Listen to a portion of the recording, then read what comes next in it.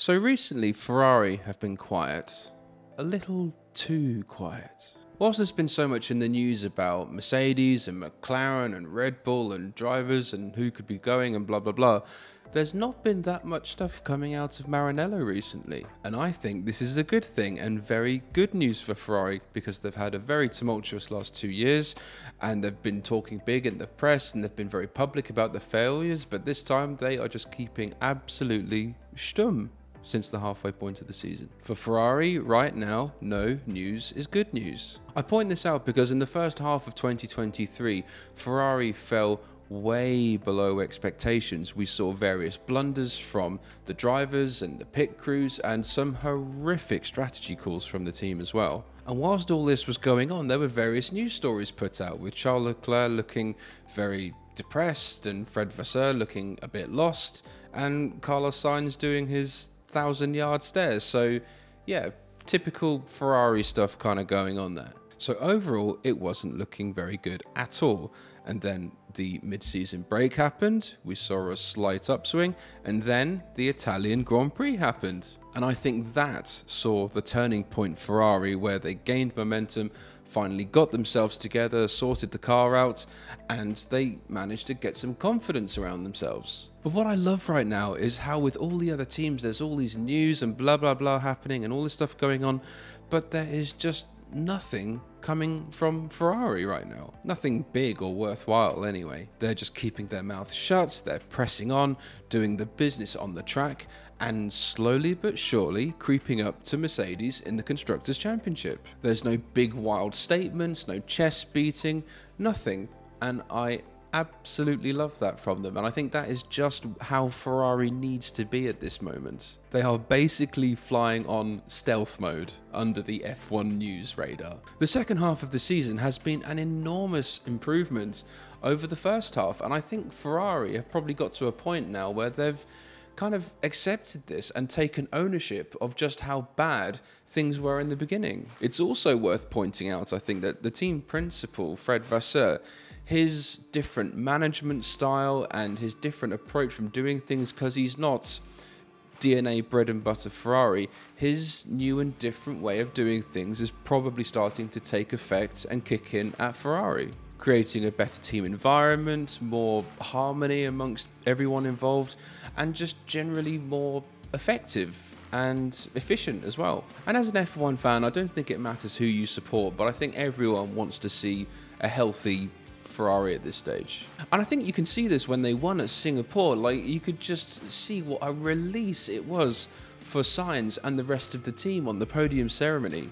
Or even just when Sainz got out of the car at the end. His face on the podium spoke a thousand words, and it was just a sign that all this change and all this hard work they're putting in is finally starting to pay off. Ferrari are now the strongest that they've been all season. They've got the taste of blood in their mouth, and now they've got the stumbling and bickering Mercedes in their sights in second place. Ferrari have really sorted out the whole strategy side of the team and reined in so many of these errors that plagued them in the first half of the season. And it was so bad that in the first half it almost appeared like self sabotage, and you could clearly see that Leclerc and Sainz were very quickly losing patience. And then naturally, murmurs and rumours started where Leclerc was linked to a potential Mercedes seat, and then Audi was sniffing around Sainz for their upcoming F1 project. So, yeah, there was lots and lots of talk about the drivers wanting out of Ferrari, basically. You know, both of them were clearly fed up, and neither of them wanted to be the band left playing on the Titanic. But now things have completely flipped around, and I think it's safe to say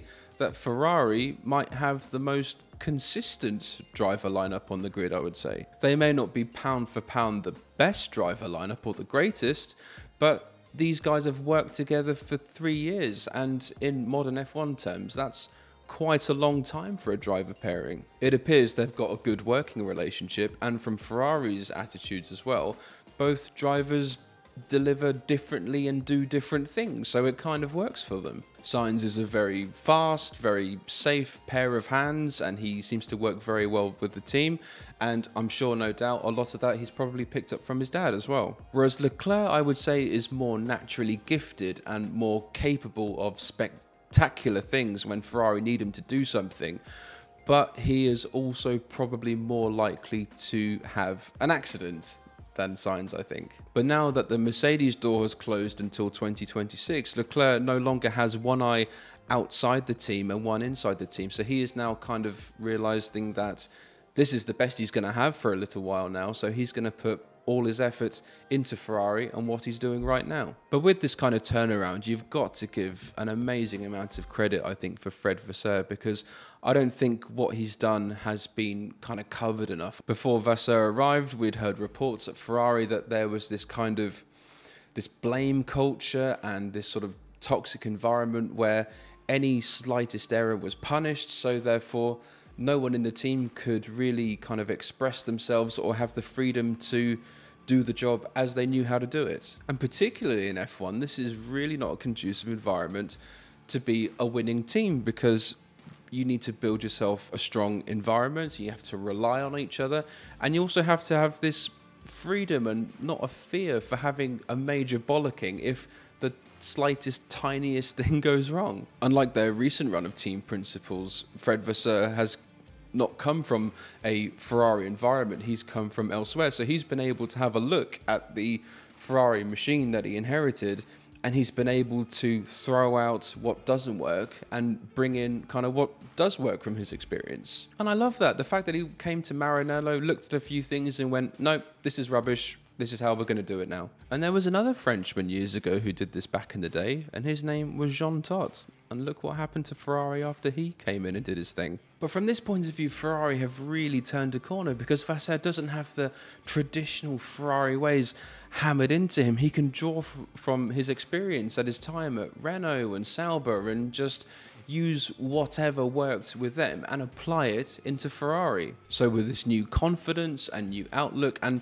revitalized drivers, by the way, I really think that Ferrari can get that second place in the Constructors' Championship. If they can just keep chipping away and racking up those second, third, and fourth places, try and keep the McLarens at bay, and hope that the Mercedes keep running into each other, they are well within a shot of second place behind Red Bull. And with the tiny little bits of news coming in, it looks like 2024 could be a very interesting one for Ferrari because they're building their new car and adopting apparently a very different philosophy and very different kind of build compared to the existing 2023 car. Only time will tell if this is the car to take the fight to Red Bull, but I'd say if there's a time to try something a little bit different or a little bit radical, why not? This is the absolute perfect time because Red Bull, I'd say, have first place pretty much locked out no matter what you do, so why not? Give it a whirl, see what happens. But let's say Ferrari did build this rocket ship for 2024 there will be the inevitable clash, I think, between Sainz and Leclerc, and then Ferrari will might have to look into this and sort out something, come to some sort of arrangement between the two of them. It would be great to see Ferrari fighting for wins regularly again because out of the bunch, I think they're probably the most likely to at the moment. Mercedes just seem lost and can't get to grips with the fact that they're not dominating everything anymore. McLaren have this inconsistency where they underdeliver at the start of the season or the end of the season, and Aston Martin are just, I don't know, depressing. But yeah, I love what Ferrari are doing right now and how they're going about it, keeping their cards close to the chest, not saying anything, and just delivering on the track at the moment. I think it's absolutely fantastic. You know, not banging onto the press about any old thing just to get a tiny bit of news out there and not making a big deal about this upcoming fight for second in the constructors. I was shocked actually when I looked at the constructors table after Qatar. I saw that Ferrari were just right up there close behind Mercedes, and I thought, wow, they might actually pull it off. I don't think we've seen the last of Hamilton and Russell running into each other either, so there's plenty more points available for Ferrari to scoop up right there. Either way, the run into the end of the 2023 season I think is going to be super exciting. We're going to see some amazing battles, and I think we are going to be really in for a treat because I think all these teams that were kind of having issues, such as McLaren and Ferrari and Mercedes, they're all kind of coming together all at the same time. So it's going to be super, super competitive. And yeah, I can't wait to see what it throws up. Thank you so much for watching. Please leave a like and let me know your thoughts in the comments. I'm Paul, And once again, many thanks for watching.